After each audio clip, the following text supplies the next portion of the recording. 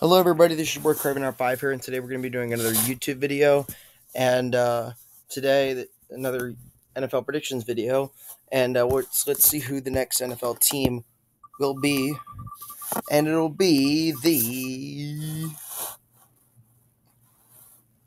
Dallas Cowboys. Dallas Cowboys, congratulations, and uh, can you stop? Thank you. And uh, next one, they will lose the Giants first.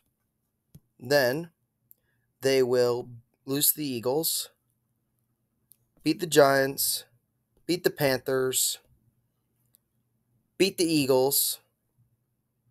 Actually, no, no, they're gonna lose to the Eagles, and they'll lose to the Lions. Uh, actually, you know what? No, I'm gonna I'm gonna have them winning right there, and then I'll have them winning right here versus the Philadelphia Eagles. So, so final record for the Dallas Cowboys will be 10 and 7, uh, 4 and 2 division, 8 and 4 in conference, 4 and 6 versus playoff teams, 5 and 1 versus losing, 5 and 6 versus winning, 4 and 5 away, and 6 and 2 at home. So, so hope you guys mostly did enjoy this video. So if you did, make sure to leave a big fat like video and also comment. Say good comment mostly and subscribe and turn the notification bell. So hope you guys enjoy. Goodbye.